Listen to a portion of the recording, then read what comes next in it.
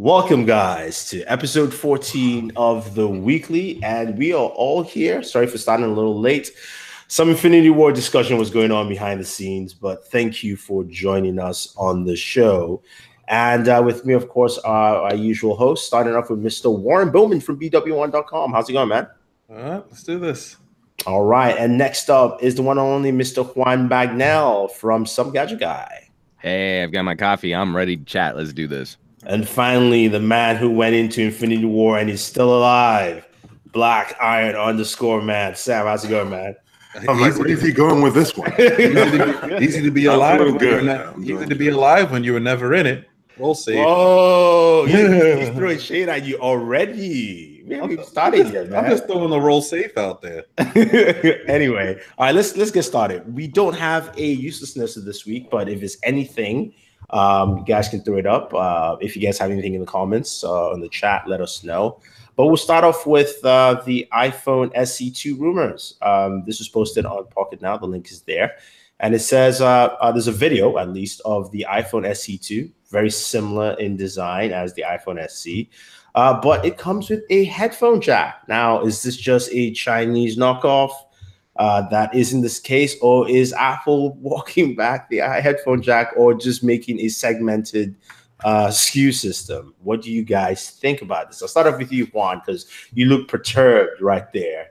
Uh, oh no, I'm I'm I'm I'm actually very positive on this being true. Okay. Um, Apple is a company that likes to make money, and I don't think they would want to spend too much time or effort redesigning a product that's been around since uh, you know the transition from the iphone 4 to the iphone 5 so i don't think you need to reinvent the wheel there. You you basically just redesign the machining so that you can give it a glass back and you pop in some charge coils and you call it a day. So i think it's very likely that this could maintain um, uh, a headphone jack just as we might see at least one more year or two of iPhones that still have home buttons. You know, you're still going to keep making iPhone 8s to fulfill sort of uh, mid-ranger uh, price points, you might as well have your cheap little iPhone um, continue to use a headphone jack, especially for its target on uh, lower cost and developing uh, 3G and 4G regions. You know, you, you're not going to sell many dongles there. You might as well just build it into the phone. Sorry, Richie A said Apple lost its courage. because that is exactly why why he took out the headphone jack. There was courage to do that but they lost. Well, and also that huge investment they made in buying Beats. Yeah. So. Um, uh, Sam, any Ooh. thoughts? Not really. I'm not really interested in that particular device. I know that there's a whole sector of people who are, and having a headphone jack would probably help them with that transition. They really don't want to burn the um, the people who don't have the money to spend on the X's or the eights of the world. They would mm-hmm. rather I'm like they care about those people. No, they, they, they, they, they do care. They care about everyone's money. money. They care about everyone's yeah. money. Because if you go, if you go with the reports that. that that are saying that uh, iPhone 10 sales are really not that good. Plus, it was two weeks ago, three weeks ago, Apple opened a factory in India to produce. Guess what? iPhone 6s, their best-selling iPhone out there. So and also the fact that they've dropped from the top three in China as well. So they, there is that kind of pressure there to, to make people happy and keep buying, uh, spending money on the device. Yeah. So I think it, it goes to play. But anyway, any thoughts on, on the device itself, uh, Warren? Man. okay. Um, that, that, I mean, it's, it's an iPhone. It's gonna have the same.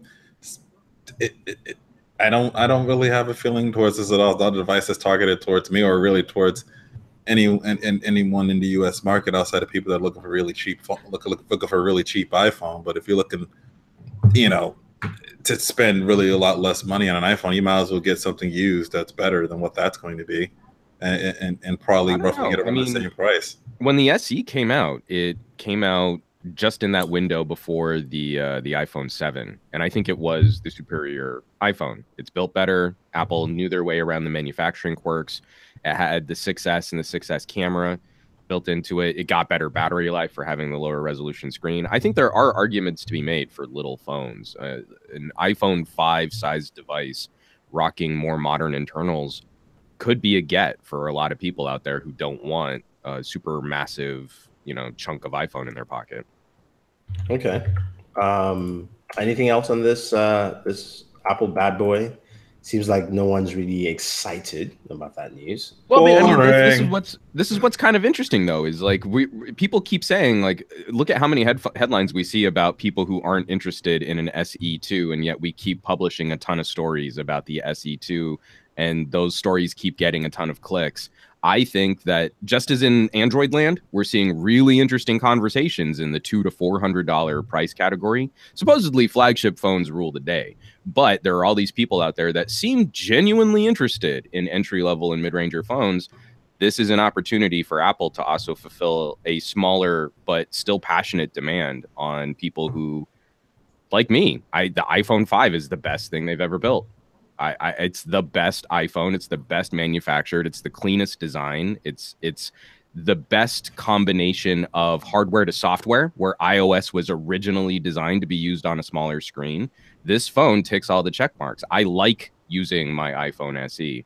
I don't like using anything else in iOS land. So I, I, think that this is one of those things where enthusiasts are going to say not good enough, not worth it, thumbs down, and a bunch of people are going to walk into Apple stores and go, "Oh, how cute!" and then buy one. Oh, so it's, it's, like this is not a phone I for hear, us. Well, it's a phone I for me, but it's not a phone for. All I hear is all I hear is small hand world problems. That's all I hear. Hey man, I am I am peak of the bell curve average, which means 49% of humanity is even smaller than I am. So we'll all do just fine with an iPhone SE2. Anyway, let's move on to other news before we start talking about hands. Um, T-Mobile and Sprint getting married again or trying to. Uh, merger talks are on the way, and it looks like they've come up with a valuation. It's about $26 billion, which is you know kind of small for me. Then again, I'm used to seeing all these big numbers from like Netflix and you know. I don't. I, I don't think Sprint is worth that much. Yeah.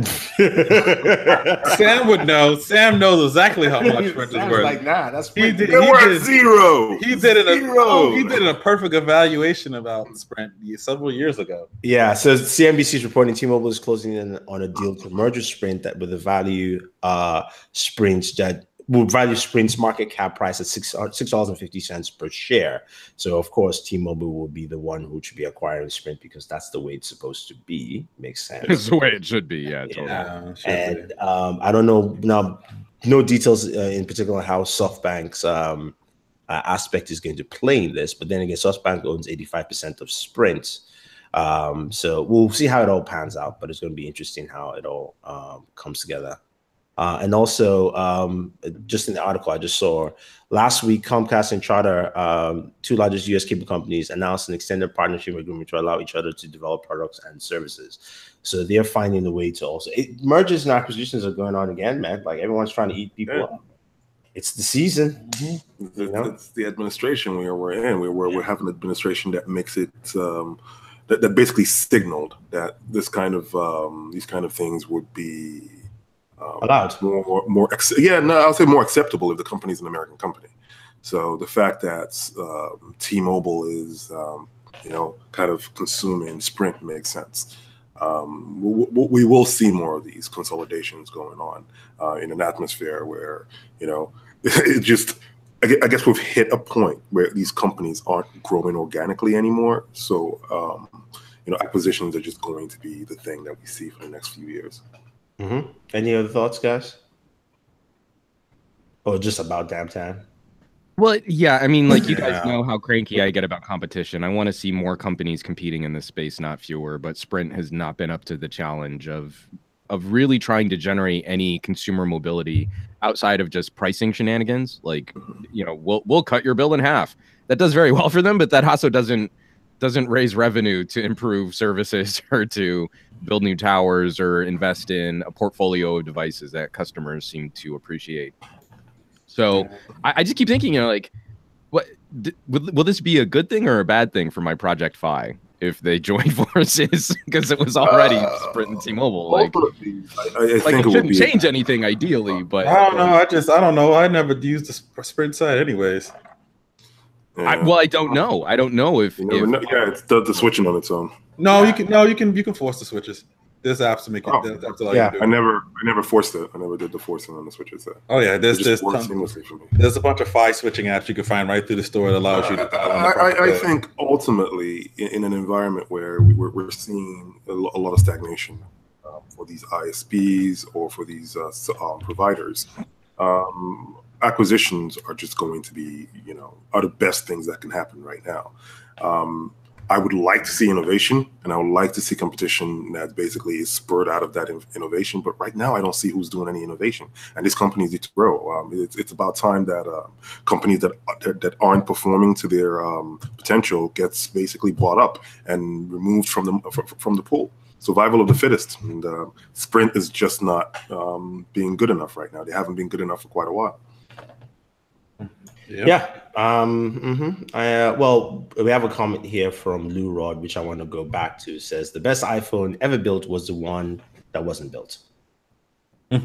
so, well, I, you know, I'm not an iOS fan, but but using an iPhone SE, this feels like the right combination of hardware and software. I like using that phone. It is a little mighty mouse. Yeah. Um, Colin says he's been a Sprint uh, customer for 22 years. Man, bro. Guy likes to suffer. He loves to suffer. oh, man. Wow, Ronald. That's a lot. I was a Sprint customer uh, in yeah, the I 90s, Sprint too. Late 90s, and, and then I switched I was I was a Sprint customer for every iteration until it became Sprint. And then I stopped being a Sprint customer. I will I will share the video of when uh, Sam stopped being a Sprint customer, guys, so you guys can check it out. Um, just to give you, just to give you a little, brutal. It was rough. A little, was little synopsis. Sam was doing an unboxing of a device, and then it turned into a rant on sprints. That's what happened. so I'll leave the link for you guys down there in the comments. Uh, moving on, Amazon Prime uh, is increasing the price. It's now going to be $119 for Prime. Um, it's getting more expensive. Um, although you know a lot of will say a lot of people will say it's still a bargain for all the things you get. You know, there's the shipping, uh, two day shipping. There's also the fact that you have Amazon Prime movies, you've got music, and you've also got uh, storage, unlimited storage, which a lot of us don't use actually. But what are your thoughts on the price hike? Is it is it justified, and also uh, does this give you a cause for pause? I know some people are talking about how Amazon now is a monopoly um, in what it does.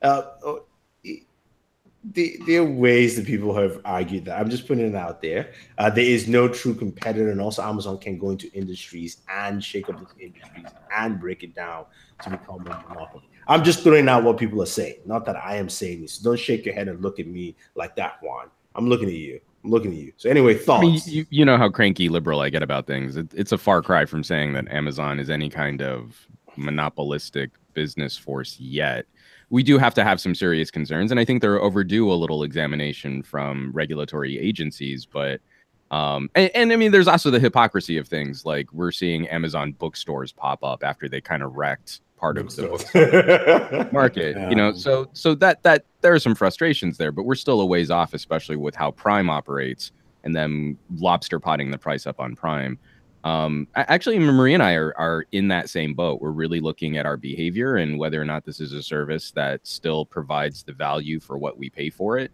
And we're not buying, we're, we're making efforts to not buy everything through Amazon anymore. You know, th- those those people who are concerned, you know, uh, get, getting into conversations with people and they're like, "Oh yeah, and Amazon's taking over," and you're like, "But you still talk about buying everything from Amazon." You know, if you're this concerned about it, go vote with your wallet. And we have been. We've been trying to find other outlets, especially supporting uh, retailers like Costco. Like we like the way that Costco does business with their uh, uh, their consumers. We like the way that Costco treats their employees. And so, you know, if you have a problem with the way that Amazon forces people to pee in bottles to make their shipping quotas, then maybe you should stop doing business with Amazon so much. Uh, the the last the, the the last little hitch there though is we do we have been using a lot of Amazon streaming services. So we might continue with that just in addition to our Netflix and YouTube TV cord cutting ways, because there is some good stuff there. Yeah. I mean, I, I, do hear you on that aspect. I mean, for me, especially living in New York, coming from Massachusetts, where yes, I could go to Costco or stuff like that. Going to Costco here on IKEA is just a hassle. Amazon is is gold. Well, well, even even going to Costco's here and all that stuff, it's still somewhat of a hassle. Yeah. So, so at least for me here, it makes sense that I can order stuff and then it comes in. And then a lot of those companies also required you to have memberships to purchase through there, which a lot of them mm-hmm. had some type of fee. So what, what's the difference between them and Amazon? At least Amazon doesn't require well, a fee to shop. Well, actually, I mean the, the way that the way that Costco ranges up that fee, I mean, we usually pay back that fee because you get like cash back on the purchases you get through Amazon. Again, every company has this sort of like perk system. Yeah, yeah you know, membership has its privileges, but you know, when, when I when I buy a ton of stuff through Amazon and I buy a ton of ton of stuff through through Costco, I get cash back at the end of the year, which can often almost pay for the differences in Costco membership. So you can do the same things with Amazon. They have those same offers for cash back as well too, based on their credit cards as well. So it, it's yeah, it's, but I don't want there. a line of Amazon credit. I don't have to do that with Costco. Well, I mean, as you guys are fighting between Costco and Amazon, um, again, it all depends. Like for me, my own thinking is I'm actually paid for Amazon uh, uh, movies and all yeah, that. Amazon stuff. Prime, Prime movies, and I get free shipping you know, it all depends on how you equate it in your head. So I think it falls that way to the. Well, well, let, us be a little bit more critical on what Amazon is doing here because um, don't forget that people are like, oh yeah, you get all these other services, but recently Amazon just basically um, reduced or if not cut off your music service storage. Um, if you wanted to keep it, you had to basically opt in to keep it. Otherwise, a lot of people probably didn't read the email. Um, how Amazon many people is, actually used it? I don't see. Well, I used it. I yeah. definitely use it. That, that's uh, and I'm sure and I'm that, sure there are other that, people out there that use. Well, that's the point I'm so trying to make. The, the idea is that, that Amazon is taking things away as well. It's not just giving, giving, giving, and adding value. There is the proposition of taking away value, um, even though they're now increasing this price. Uh, and I think part of increasing this price, and dare I say it, is the, the, the, whole idea that they're trying to become some kind of video powerhouse to um, to challenge Netflix. So we're paying for them to go out there and make a new series uh, for Lord of the Rings, which I probably would like when it comes out. You probably would like. Let's just say you're happy with that contribution to yeah, but it just it's one just, billion dollar uh, Lord of the Rings. But does this constitute twenty dollars of an increase um, a year for everyone else who doesn't care about this, who doesn't really use the service? Is Sam, at this Sam, point, Sam, I think Sam, look at me, look at me. I don't care. at this point, I think it's it's worth people asking um, what are you truly getting from Amazon? If you're using it for the free shipping, there might be better options of going directly to your um, to the retailers to get that free shipping from them and give them your money directly. Um, if you're using it for all the other ancillary um, services they give you, then maybe maybe it's a, it's a good proposition for yeah, you. Yeah, but see, but that, I mean, like I said, it all depends on the individual. But even for me, if I think of free shipping, that two day shipping, I don't get it from anybody else. I actually yeah. don't. You don't really like if you think of, you, that's you make up a great point about that. One else. You don't like, and most nobody people, does that. Most people have a tier if you have to spend fifty dollars or more yeah, to you, actually get that. Most of the time, their their clothes aren't discounted down, or whatever their products aren't discounted down any lower than than, than what you experience with Amazon. Trust me, I do, I do. And then, and then Sunday deliveries, the key one, the one that oh yeah, that the Sunday deliveries. Sunday, you're like, I need this stuff by. But aren't they? Aren't, aren't they? Aren't they cheating USPS? Look, let's not even go there. Let's not even go there, man. Take that. That's hilarious. No, we try to, I'm just saying. Damn, Sam went out and straight up put on a red hat for that one. I'm like, I'm like let's do this, mother. Don't, don't go Kanye on this, man. Yeah. I mean, don't don't do it. You, you, did you oh, did you dye your hair blonde? That's why I have the hat on because do you, look like, a, do you look like a black Eminem now? But, oh, but anyway, I'm just oh, saying that, that was again, crazy. Again, it boils down to the individual and how the individual looks at what they're spending on and for what reason. So I think right now most people are in the in the camp that it's still justified at 119. When it hits that 150 mark, it's where it's going to be a problem. Yeah. I don't know. Well, I, by the time it hits the 150, if you're willing to take it at one uh, 119, thirty dollars more that, then now you have to start asking the question. Let's see Amazon's video services gets more popular with the new shows they're, they're investing money in. Does that really justify an additional thirty dollars a year? Because people say, "Oh, it's a thirty dollars a year more. It's less than you know, it's less than three dollars a, I would be a, a month at one fifty if they made Audible just free because I don't like yeah. the model of Audible. Audible, I have to pay. You know what? You know what? Just stop, stop trying to get oh, free audiobooks. oh no, no, no! But there's something there with Audible Audible's a tough one because that one's weird. Is is is does it's, not work for me at all. It's like you like I I've, I've been paying for Audible, but you get the one credit for Audible, but then you can't keep any more than six of those credits. Again, if you don't use a credit, you lose their credit for there. So that means you got to keep on buying books over and over again. Yeah, but dude, at any time within a certain amount of time, you can, sell, you can subscription return those books, get your credit back give me a subscription service for Audible, put a tiered system where I can get a book earlier than everybody else by paying extra, mm-hmm. an extra five or six bucks. Fine. That's that's cool. But don't give me But then you get nothing done, man. You get nothing done. You just keep listening to audiobooks and nothing will get done. Did I say that was a problem? it's like, no, that's not a problem. But, like, what's showing on Bored at Work today? Excuse me, I am listening to Peter F. Hamilton's new book. You guys can wait for this video. Exactly. No, but I'm just saying that there are things they can do within the, uh, the, some of the other services to spice it up. I think in the music side, they realize that they're not winning in that in the music arena. Spotify has been kicking everybody's butt um completely uh google music is still trying to hang on the apple is they are i mean they're just behind. I mean they're good for storing your stuff but not in terms of yeah i don't think i don't i don't I, I, was just bringing that up sam. I was like you're probably the only one that stored like i know that stored their music there. Almost everyone either used some type of streaming service and gave up on putting their stuff into the cloud or or they jumped on it when google offered that well ahead of time like years before uh amazon actually offered that. So i could see them moving that I can understand them moving that free service off to maybe offset to use something else, or maybe use those resources to give something else as a better offer, rather than just leaving there. There could be something better that they take, whatever, because it might be free, but they're still spending a cost to have that free service there, and someone has to manage it and, and maintain it and stuff like that. So I'm pretty sure they could be ending that to then move something someplace else. So we'll see what what sort of happens there with that, but. um as of right now, it's um, you know, Amazon's this is it's, it's, it's an interesting company because they're they're they're in- integrated in a way that they they people say they you know kill a lot of businesses, but they also, if you look at the other side, they power a crap ton of businesses at the same time as yeah, well, especially from not just the cloud service. The cloud service is, is a clear indicator that they power a lot of services that we wouldn't even have if it wasn't wasn't for them being around and offering those. But even stuff from retail, there's so many more retailers now that can sell through Amazon and companies can sell through there that would not have that space before because you didn't because back then um, if you work in retail it was it, it, working in retail you learned about planos you learned about all cap space and where everything's lined up and everything on that space is bought and sold and paid for and you got to buy into it to get your space there on, on, on, on the floor for people to see in amazon you didn't have you, you, there, there's there's there's unlimited space available available there to you so it's you know, we're getting a lot more companies that we we that would never have. Say what? I say Amazon's even giving Best Buy Life for the new partner. Yeah, yeah. Well, somebody's got to give that that damn company something.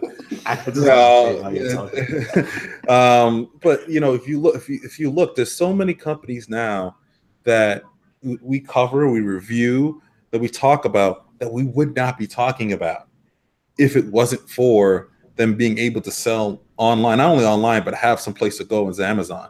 Huawei. Huawei.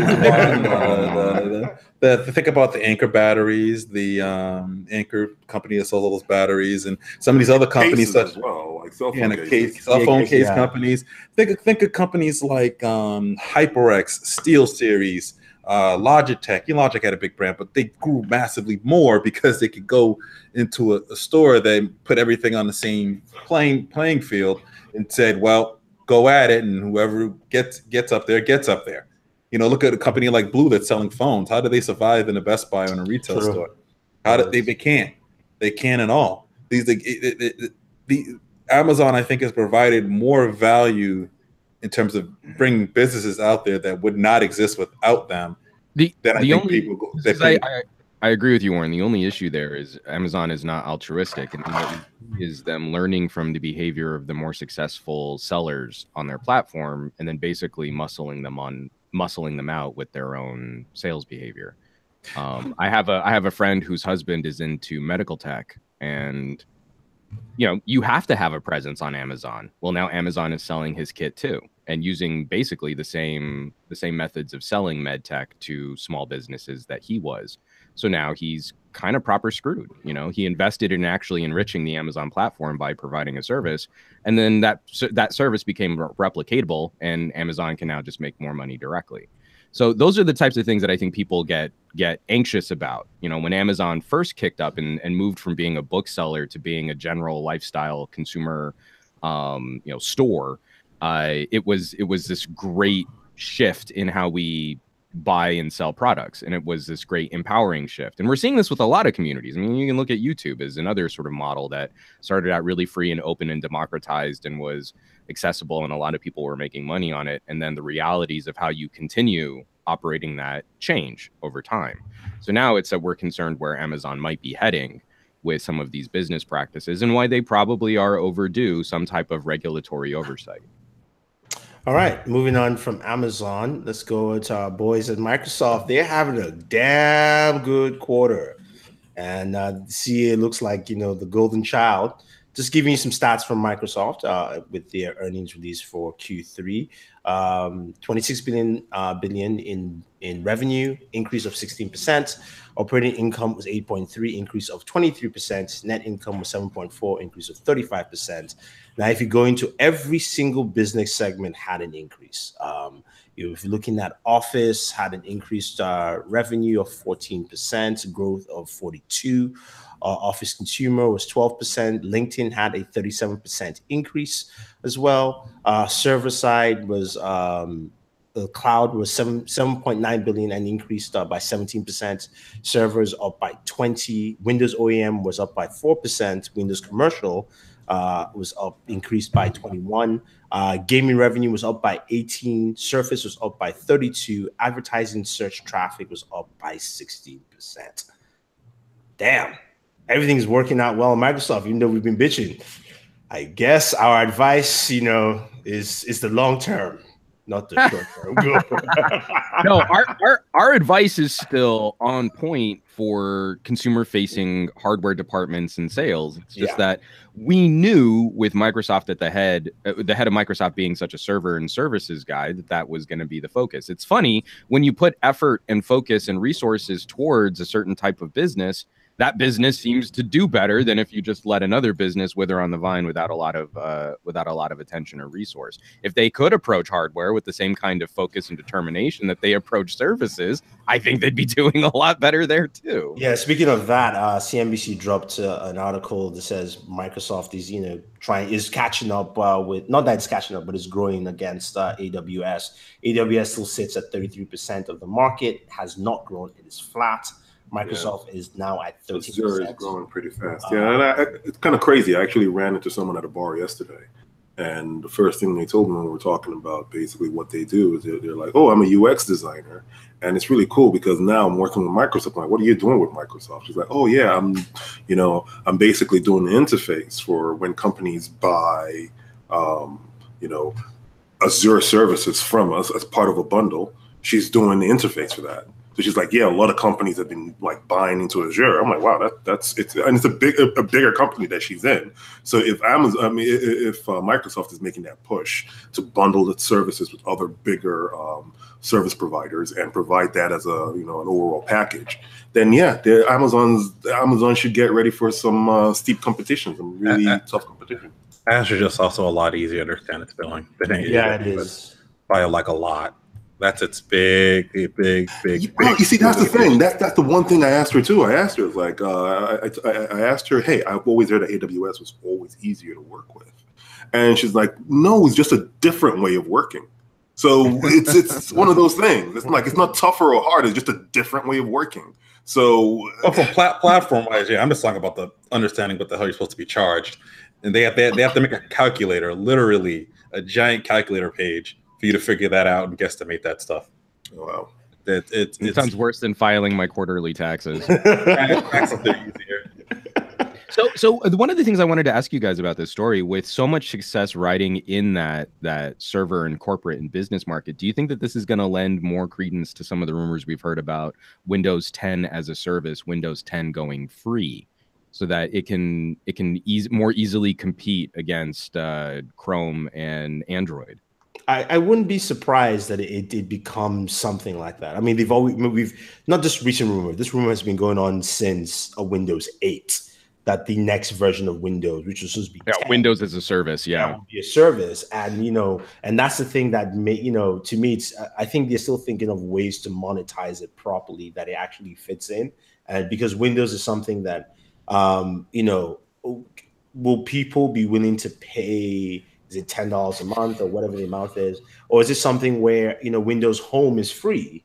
and but then there's a cap on functionality and then you get pro which is like 10 bucks a month or whatever. Yeah it's probably going to be a freemium uh freemium freemium service. And, and it's how you actually put it uh, into basis. Because one of the things uh that was interesting uh, i was reading an article about um Azure and also gaming is that a lot of gaming companies have actually picked up Azure.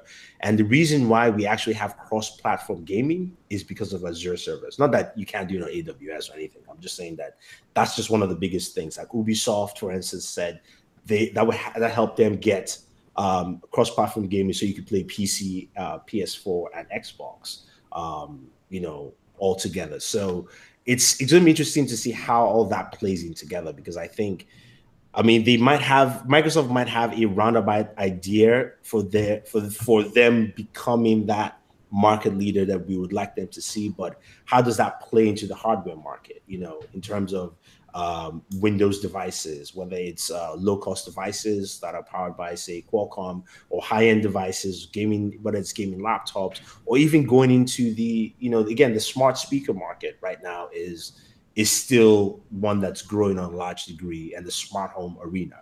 You know, to me, I think if Microsoft, the only way Microsoft can enter that market and win is not go through a smart speaker route, but actually create an ecosystem that is proper for a smart home. Because yeah. right now, we have this very disjoint. I mean, to me, I feel Samsung has the best ecosystem, even though it's not an ecosystem. It's just a hub that allows you to connect everything. But you know, they're the ones who are doing that. And Samsung is not the best company suited for that, I think, in this in this in this battle. So, and you have Google who's trying to do their own thing. You have Amazon who is now try has done a whole reset and says, here you can now make your own Amazon skills because we fucked up with skills. And, just go ahead and, and, do your own thing. And then there's Apple doing their own thing in their own ecosystem there. So, you know, can Microsoft come in? I mean, think about it. Windows is Windows has always been the platform for everything. You can throw everything on Windows. So why can't that be the platform that takes over, um, you know, uh, the connected home and IoT, so you can actually have that full connectivity? It all depends on how they want to do it, you know, and whatever happens. But you know, um, I, I, got no advice for them at this point. But you know, we'll see. Any more thoughts on on uh, on Microsoft? Well, I just love it whenever one of these these earnings comes out. We always see like a flurry of headlines like, "Oh yeah, like Microsoft has always been a good bet." And yet every every headline in between the quarterlies is, "Oh, Microsoft screws this up or they can't get their hardware right or they had to oh, the Surface this." And and you're like, "No. No, they're they're they're kind of just this like they're not exciting, but they're this like slow, consistent yeah, we're still making money. We're like the second or third, maybe sometimes the fourth, but we're always bouncing around in like the top three to five, uh, you know, highest valued companies of all time. So yeah, we're cool. We're good. Yeah, that's true. That's true. I mean, they're, they're sitting at number two, and Apple has been slowing down, which is is interesting. I can't remember where the report is. I wish I could find it. Where some investors were talking about how Apple is just not the bet that they're looking at because of uh, some stagnance, especially the iPhone 10. The fact that now most investors know that the 6S is is the device that's selling, which means that is what uh, three year old tech or two year old tech, right? Something mm-hmm. like that um, in there, which means it's not moving forward. Um, they weren't too convinced about the Apple's uh, educational strategy with iPads um, you know, on, on that aspect. And also the fact that um, I think now a lot of companies are talking about the fact that Apple has no cloud presence as well. Um, yeah. Which well, is, which they is, do on Microsoft servers. no, uh, Google. Google, Google now. Oh, Google servers. That's right. That's right. Yeah. So they have no cloud presence. corrected. And the fact that AI and cloud is the big buzzword for this year, everyone's talking about it. So even the, the investor who doesn't know deeply will have to go, okay, what's your car price? What are you doing in that? You space? know what? What I what I would be really frustrated with if I had money in on tech stocks right now, I would be really tired of all of the red herring rumor um, stories that we hear from Apple. They're working on a car. They're working on a TV. They're working. I, I just saw another one pop oh, up on Reddit. AR just uh, yeah, Apple's right? going to have AR VR tech coming out soon. But then the only the the only the only stories that have actual substance to them lately have been you know apple's going back to the iphone 6s and apple is going to gut and get rid of uh, the the airport so they're going to get out of networking and mm-hmm. Apple is scroll is dialing back on HomePod production because of low demand. Those are the real headlines of consequence. All of these like rumors and pie in the sky, future tech. I just don't have a lot of confidence in Apple R and D and skunkworks right now. I want to. Well, I want to see it, Apple it's not really even, it's take not even on market. Think about the like the. I'm just looking at the uh, the AR headset may pack an 8K display. First of all, to be practical, it's not going to happen. Simply put, if Samsung doesn't make that display, it will not show up. Well, and not just the display, like how do you power it when you know Vive Pro is already kind of a monster when it comes to the system specs. Exactly, yeah. But I'm just saying that even on the display aspect alone, like you know, the the market leaders making display are LG and Samsung.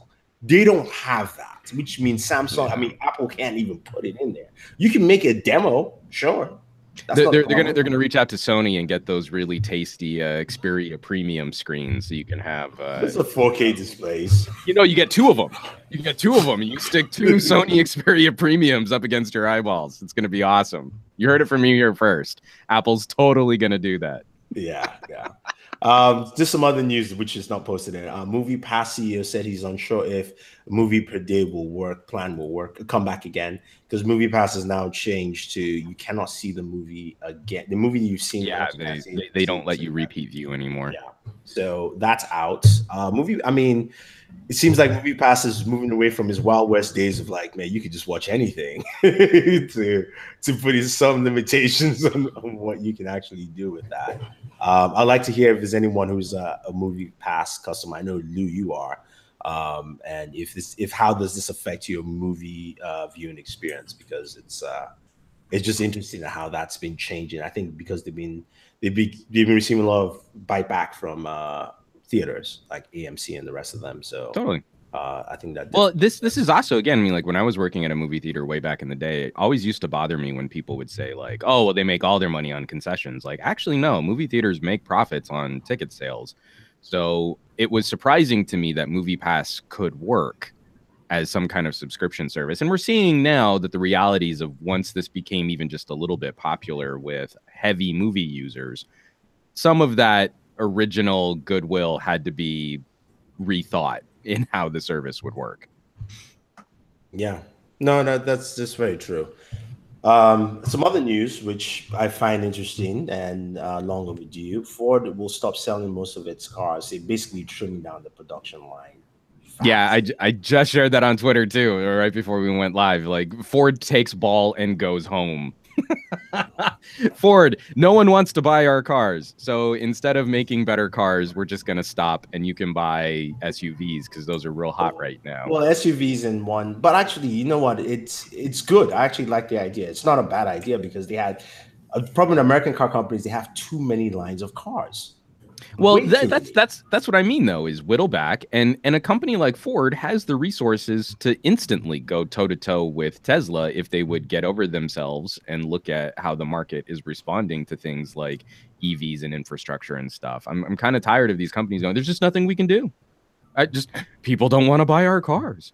And you're like, "Well, yeah, but they are buying cars. Why don't you look at the cars that are being sold and and like, you know, make your cars better. Well, yeah, yeah I mean, but but yeah. see the thing the thing is simply this, right? One of the biggest um, or one of the fastest growing car manufacturers in the world right now is um, is Hyundai. Hyundai caught up a few years ago to Toyota, and um, at that point, people were like, "Oh my God, Hyundai is doing whatever. They're going to be what they had." There's like big news about it, but then Hyundai has been slowly de- declining not because they're not innovating, not because there's no consumer demand for their cars, but because they don't have SUVs. So that's the thing. SUVs are selling right now. so if if Ford saying we're going to stop, yeah, if Ford is saying we're going to stop mm-hmm. producing, um, if, if Ford is saying we're going to stop producing sedan, sedans for now, um, and focus more on what's selling, I, I see that as a, as a viable uh, business plan. I think it's, it's SUVs are selling because of status symbol. Not well, because stat, status in the gas isn't. Yeah, gas is yeah, gas is cheaper now. And and, and it only takes one. Yeah, I was gonna say it only takes one one goof in the market on oil speculation for people to be complaining about filling up their SUVs. I think, the, and I think the I think the, the the the price of oil has been going up recently, anyway. So no, it almost did, but then it got crushed again. yeah, I did. They got, got crushed recently. I mean, I think I think for Ford, you know, it's something uh, Ford Ford can easily do this than, than GM. Uh, because to me, it's it's very simple. Yes, you have your SUV line because that's your main market that's making money, but you actually you're I think they're only keeping one sedan, and then make that. they're keeping the Mustang just I think they're keeping even, one. Do, do, you even consider that from, from, the from the article I read that the one car they're going to be keeping is the Mustang, but that they're going to be ramping down production on smaller cars through 2022. So there are going to be some lines of like Fiestas and stuff, which will yeah, but the Fiesta does well in Europe. So they said it's the right. US is going to end here, and the Europe is still going to actually continue unless that market actually changes. So I think I think for them is just a, they need to sit down and look at like okay how do we actually yeah I mean it, a lot a lot has changed in the market you know um, you have uh, you have um, people uh, buying different types of cars they're they're not um, well, then it, it's like you said with the SUVs that, that sort of things happen and some people are also um, changing where they're living in places where they don't necessarily use their car as often as well too. Some so sometimes that comes into play. Um, you have the you know the ride sharing and then all the stuff like that that people are driving less, not using their car as often. May may sell the car because they might be in a position where well I could use this. It just the math adds up more more more for me in that manner.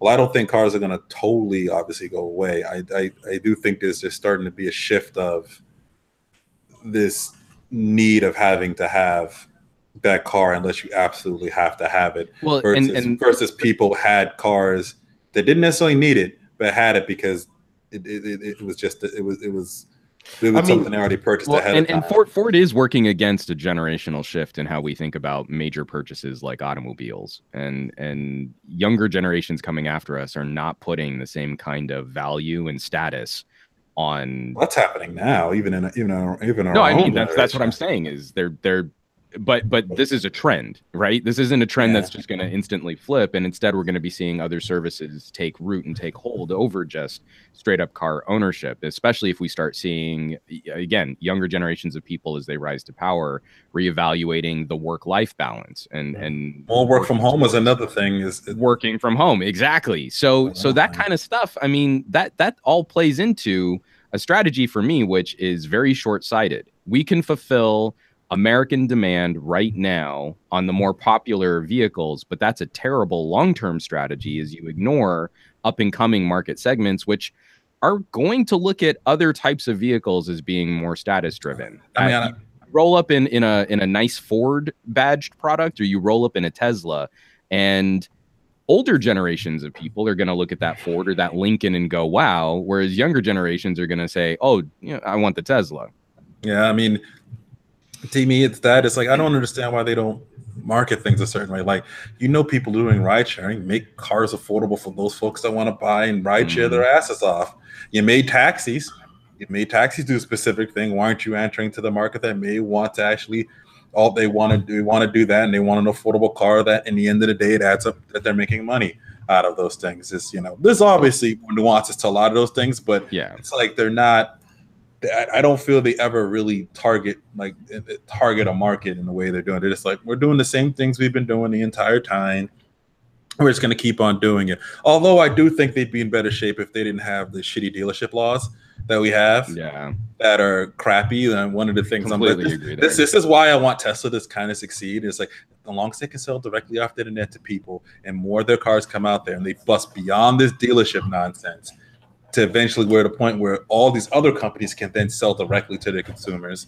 And may, maybe an amazon makes a store out of it who the hell knows? I wouldn't be surprised if you can buy a car off amazon it's delivered by a drone at some point. I, I, I, I, wouldn't be i wouldn't be surprised or it's not even delivered by a drone it just drives itself to your house. Yeah exactly. Self drives with with with the rest of your prime stuff. They they figure out with the logistics and get all your stuff all like you, today's groceries are in your new car that you that you bought up today but um i i i, I kind of feel that whole market in general isn't really skewing itself in the right right direction in in the ways well and, and we've success. and we've seen this from other automobile manufacturers where they try and do like a youth oriented play and you're like young yeah. people don't want your young person oh god. There's there's a very good there's, there's, a very good um old people good, love those cars though. Like there's a very very good video um, from about two or three years ago that um, adam conover from adam ruins everything talks about millennials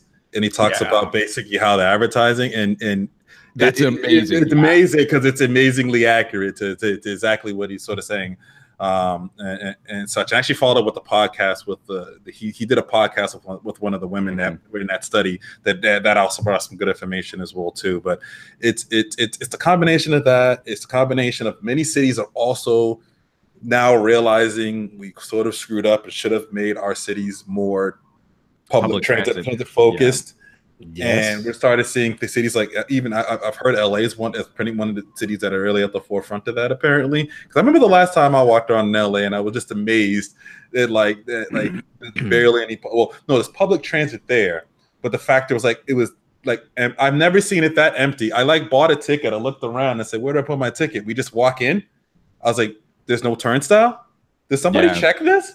Yeah, straight up degaff, man. I mean, like, like what, maybe what? a cop will be on. Well, I mean, a week to check your tickets. You could never do this in Boston and New York. See, but I think I think as much as we talk about cars, I mean, the main, the biggest discussion down the line, long term, is is public transportation. You know, yeah. you take take Boston for instance, right? Boston has GE coming in.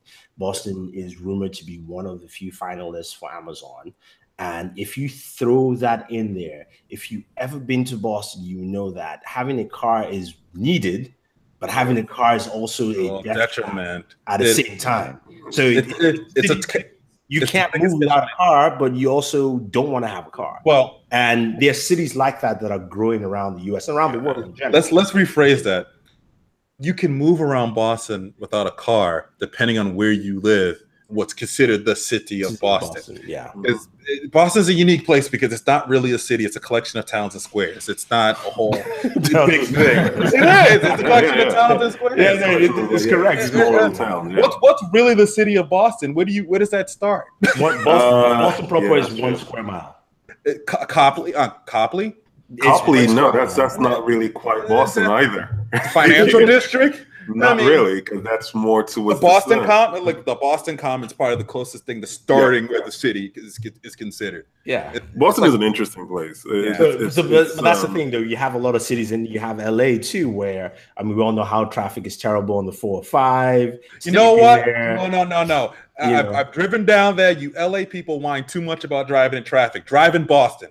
Driving no, no, no, no, talking about driving Boston, driving New York, man. It took me 45 minutes to go four miles. Okay? Yeah, do one of those. look, look, I, I see. I've driven in all three cities, and but let me tell you this: there's no place, none of this. Boston, New York does not have traffic on a Sunday morning at 3 a.m. on a highway. Why? LA. It's every time it's happened to me in LA.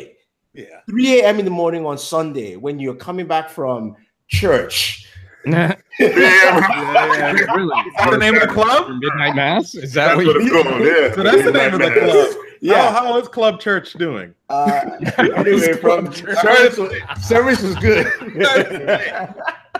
service was very but, but, but, but um, um, yeah, but either way, LA is very LA is a unique to thing to where New York, where they have like five or six different shifts of the day, and we're yeah. we're, we're one of those well, cities that just but, doesn't have that. LA traffic isn't isn't bad because of just the upright density that you see in Boston and in New York. It's bad because people have to live you know 40 or 50 miles away from where they work oh yeah that's commute terrible. through yeah, those those those sectors. So like when i go down to city of industry to shoot newegg it takes me about an hour to get down it's it's about 30 miles away from me. It takes me about an hour to get down there at six oh, in the oh, morning. God. it takes me about two hours to come back Speaking spe- speaking onto that, like um, I think you you were away when I was actually driving around LA. I think in the end of August. I think you were out of town. Oh yeah, at yeah, the time. But I, I, was I was I was in Palm Springs, and then I did the drive from Palm Springs to Laguna, some beach. I don't remember what it was. It was mm-hmm. hippie town. Couldn't stand it. Then from there, guys, that's it for me. I got to bounce. All right, Sam. All right, Sam. Have a good one, man. Have a good one, man but I, I, I did the travel from there to Temecula because we had another relative that was there. And then, well, all right, all right. So we're gonna go. We went to we wanted to visit San Diego, and then we also wanted to go to LA. I could not believe. I was like, we're getting here fast. because I can go down seventy. So this is only about an hour and a half. So this doesn't feel that bad. But then I sit back and like the sheer amount of distance I just traveled. Mm-hmm. is ridiculous. And the only yeah. reason that it's even plausible is because they have 70 mile an hour uh, speed limits on those highways.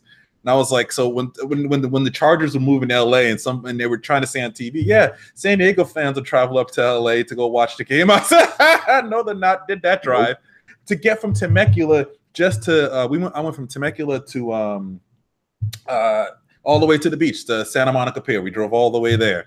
That was like an hour and a half to two hours with some mm-hmm. moderate traffic in it. Now imagine everyone going to a game trying to go to that.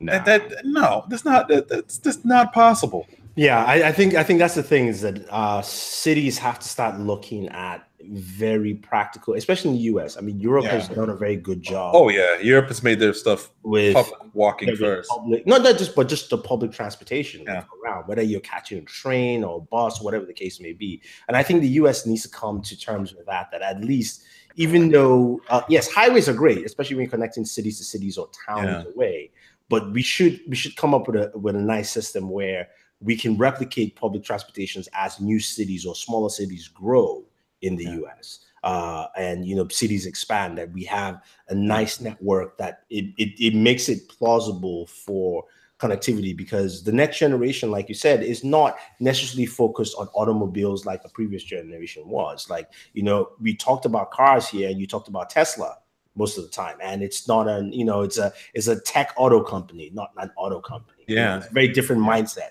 So well, but but we've so seen that's, we've that's seen thing that's it's going we've seen traditional change. brands tap into some of that excitement. Yeah. i mean don't don't forget I, I feel like nissan was was garnering almost as much press for evs when the original leaf launched and they were talking about hey you know we want 50% of our fleet to be all electric by this date and then the entire auto industry was rocked because this was 2006 I think when the first Leaf was was released, and or might have been 2007. But regardless, you know what happened in 2000 between 2006 and 2008 that mm-hmm. totally screwed every Everything, industry yeah. over. Yeah. So you know we saw that we saw Chevy with the Volt. We saw these these glimmers of traditional auto manufacturers being able to compete in this space with desirable, exciting vehicles, building on the success of Toyota um, in this space also. It's just they all stopped. You know, you're not going to win anyone over with like a plug-in Ford Focus.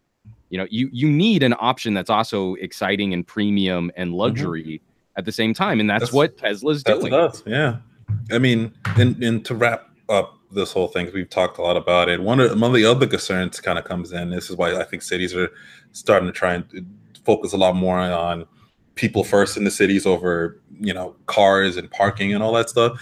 You have a lot you have this case where you have a lot of people let's say they live in the suburbs or live a distance away from things that happen.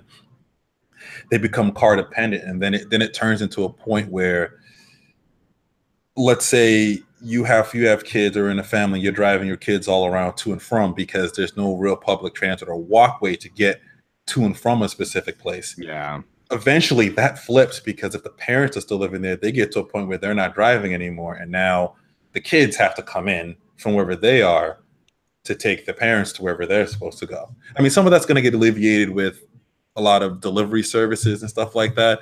But mm-hmm. that's that, but that's another huge problem that they're seeing, especially from suburbs to cities where you're having these folks that are essentially landlocked into where they live because of the reliance of, of uh, car transportation in the areas that they live in is so yeah. high and and that's definitely one of LA's major problems too. I mean, with that space, you know, you try and hit the metro, and you still might have to walk two miles to get like where you need to be with the closest metro stop. But this is another major story that just popped up. A Vox is on top of this one. A whole new generation of electric buses are coming. Uh, you know, and again, people are getting excited about less air pollution, less noise pollution, easier maintenance uh, lower travel costs, better travel experience, quieter ride. I mean, all of these things will matter, but it's just also getting uh, the older generation off of this stigma of of vehicles and buses and that experience where it's going to be completely appropriate and probably a better experience for a lot of us. I, I would give anything to have good regular bus routes or a metro that when I travel, it's going to still take me the same amount of time because I'm going like 30 or 40 miles but I could be reading, I could be writing a script, I could be editing a video, I could be doing anything else yeah. other than being in charge of operating my my car. Well, we have to get over the 50 years of these car companies and stuff like that. Longer than that, honestly. Putting, but but that's but the thing here, you I know, no, but that that's the mindset an older generation has, and that's from a lot of advertising from a lot of these companies pushing. You trying to call me old? So it is. Not you. not you specifically. Well, but no, but it makes me. It, it makes me. It comes from that. It, their mindset is that if you ride public transportation, you're less than or you're poor. Totally. Or, and, and it's a and it's a bad. It, it it's all marketing because the most majority of it's not true. And it's like it, it, it is. It's funny that you mentioned that because New York is the one place that's different, right? Yeah. Yeah. And the fact well, that eh, CEOs exec take the subway. yeah. Well, New, well, New York and Boston like, are the like unique London. example of that. Yeah. Are yeah. unique examples of that. But like you, you, you see them peddle that false narrative out there, and it's which has boomed their industries, and now it's boomed it so big that it's gotten to a point where people in our generation either can't afford cars or can't quite can't quite get the same style of cars or got to get an old beater or something like that. And even then, the, the cost of parking it's all become the cost of actually trying to drive to and from work has become so expensive that they can that they, that the that taking public transit is a cheaper option to essentially have. Yeah. And and, and it's getting to the point where if that's a cheaper option then now that starts to become a little maybe a little more of a pop more popular option if public transit starts to improve. Now they don't they, these companies won't have that narrative to sit there and say you know, for the next generation. Oh yeah, if you ride public transit or you ride public, you know, whatever, you're less than or something like that. Where everyone else that has that, that everyone else in generations riding Ubers and Lyfts and taking the T and the train are going to go. No, that's just not true. And and it also drives me crazy because we also I think it's another generational idea. It's this like the freedom argument. Like it makes it makes me flip out every time I hear. There is no freedom in the car. Oh, dude. I mean, but if you listen to like the Joe Rogan podcast, it's all about like, oh, I don't want a computer telling me where I can and can't go if I have a self-driving car, if I'm in some kind of, you know, like public transit. It's it's all about the open I mean, road they, and I mean, having to a Porsche. Be, to be fair, to be fair, there was a point in time where it was freedom because you yeah. like think about it. You could buy your car as long as you didn't include the like New York, for instance always paying for parking, but like you had a house, you bought your car, and that's it. You could just drive, right? Yeah, and I, I road tripped on Route 66 once. It was awesome. It yeah, was great. But that but that aspect is is not gone, is diminished. I'll put it that way as being yeah. Well, and also, I mean, it's like it, horses still exist. You you you take them out and you take them on trails, and it's now a leisure activity. Yeah. So okay, if you want to really drive your car, you want to own your super awesome GT2 Porsche, and you really want to take it out, go hit a track day but don't tell me that sitting in bumper to bumper gridlock on the on the 101 at 8 a.m. is the same as having the freedom of the open road. I mean, yeah. that's such a specious argument. True. Well, well, speaking know. speaking of horses, since we've been on this topic too long, um, this actually has nothing to do with it. But GPU prices looks like they're about to drop pretty soon. GPU makers are poised for a massive drop in shipments due to reduced demand from crypto miners. Yes. Interesting. Looks like that wasn't a very loyal customer base for you guys. Look who comes crawling back. MSI says they expect to see April shipments to drop by guess how much?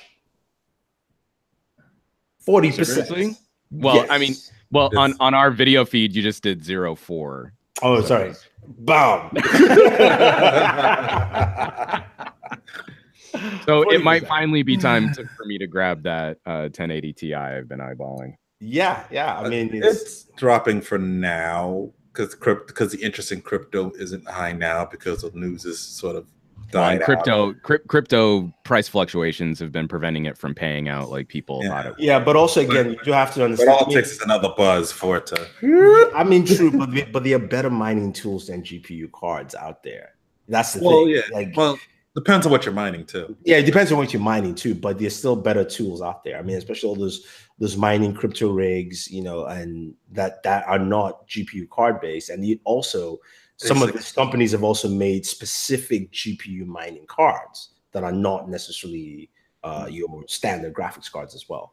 So that, I think that comes into play. But also, again, you look at it, the fact that new cards are coming out. Uh, May AMD's going, not AMD. Mm-hmm. Uh, Nvidia is going to announce the 1180, which you know performance wise kills everything out right there now. So uh, and the MSRP is still going to be the same. So it may, you know it just kind of falls everything falls into place. Which well, and and also AMD has actually been rocking some some die shrink process. Uh, I, I'd be I'd be curious to see if they can pull off a, an early 2019 Vega refresh. You See, I, I, the uh, GPU side of the business, I just don't trust those guys at all. Like they don't. I mean, like CPU right now, AMD is finally after all these years. Like, no, no, I'm, I'm, I'm, talking. I'm talking about like currently now because the they are almost there, but they cannot figure it out. Because if you look at the Vega cards that came out last year, everybody says the same thing. They're like you almost got there.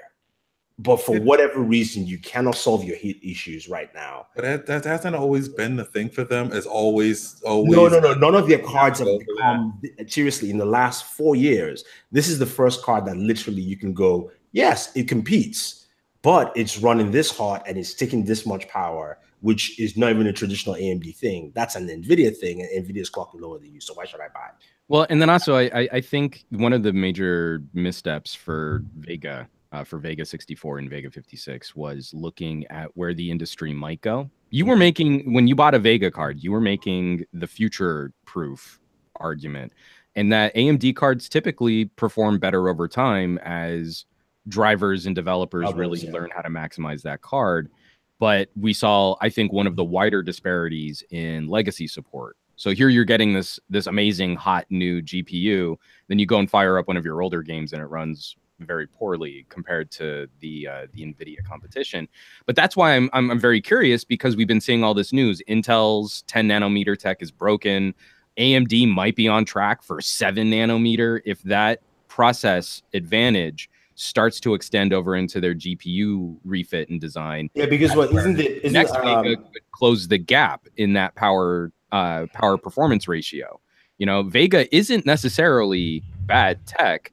It just might be. It, just might need that process shrink, that die shrink, to get it to where it needs to be. Yeah, that is that is true. I, I think that's something. Oh, Ryzen two is twelve nanometers. Sorry, I was thinking Ryzen two. I was about to say Ryzen two is ten, but uh, that's what helped the performance on Ryzen two totally so well. Um, you know, it's the same processor with like a few extra things on there from last year, but the the die shrink side, uh, the die uh, shrink basically it gives you just some really great performance all around. Well, so. and and at the same time, we might be seeing seven nanometer, seven nanometer, three thousand series Ryzen's by the end of next year. I mean, it mm-hmm. could be that aggressive. While we'll probably not see Intel at ten nanometer until uh, it, earliest I've been seeing is end of 2019.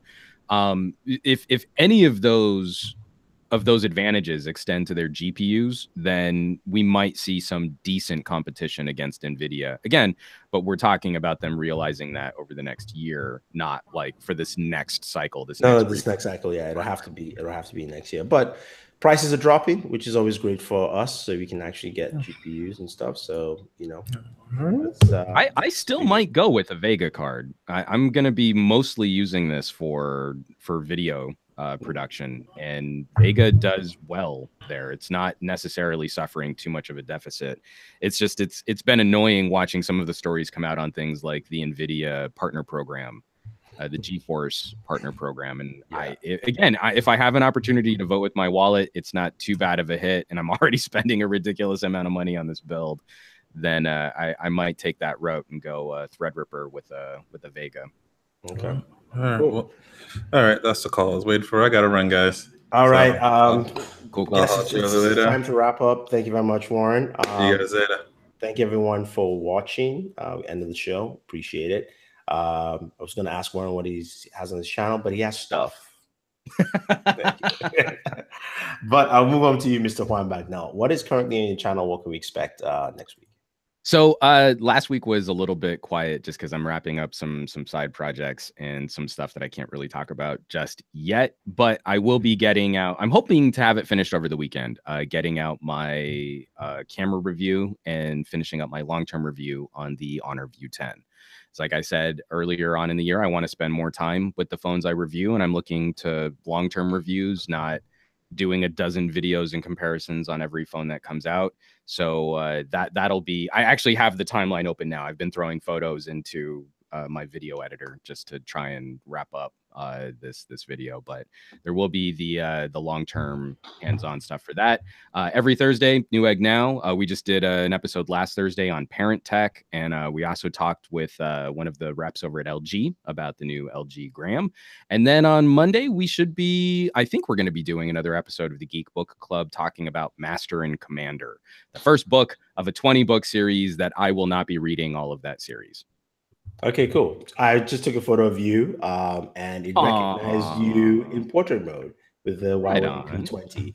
And speaking of the P20, we dropped our tweet P20 uh, Pro camera test with our professional uh, photographer, my a good friend of mine, Marian Sell. So definitely check it out. He goes through different images. He, know, I mean, so just to give you an idea, it's not just him talking about things he liked. He also talks about you know artifacts and things he finds and what he thinks about certain pictures and kind of like an overall so it's it's more critical than anything else but it still gives you a balanced look at least to a large degree of what he thinks on about uh, the p20 pro.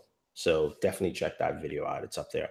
Um, and then we uh, we decided to play some god of war on the samsung q9f and um, it looked pretty good, man. It looked, and the game is good too. So technically, I was thinking of doing a God of War review. I know a lot of people have done it out there. I was like, no, I'm just gonna just play and show you guys on the TV so you guys can see how it is.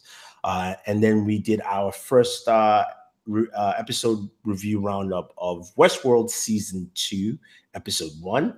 Uh, check it out. Myself, Lou, and Andrew Cam. We do that every Sunday, 10, 15, 10 30 uh, p.m. right after Westworld uh, airs, so you can join us then.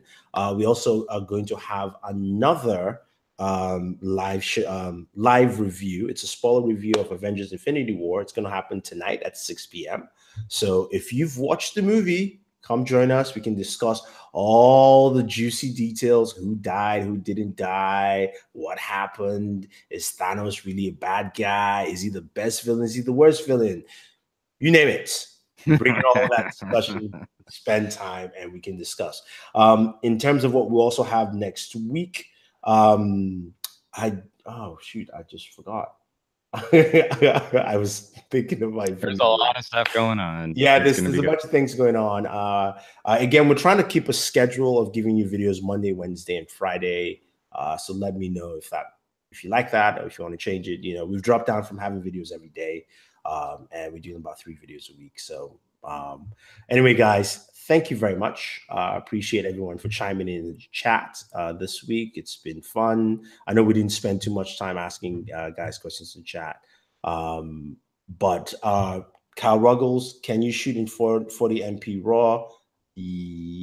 Uh, it's not 40. Uh, it doesn't really matter. RAW files. It's just going to capture in RAW, and it's about uh, 40 megabytes. The file size when you process is about 125 uh, for the raw files for the Huawei P20 Pro.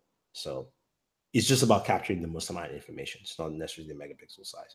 But thank you very much. Uh, definitely check out Mr. Juan Bagnell on Some Gadget Guy.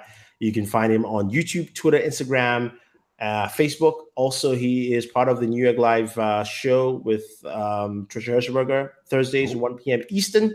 Uh, you can catch him there, see all the fun stuff they both have, which is actually pretty cool. Uh, also, Mr. Warren Bowman, who left earlier, you can find him uh, on bw1.com on his website, Instagram, Facebook, YouTube, all on the web. check out his content. And uh, for myself and Sam, it is Bored at Work. Uh, Bored at Work on Instagram, Facebook, YouTube, as well as also the website. Subscribe to all the channels. Thank you very much, and always enjoy entertainment. Bam.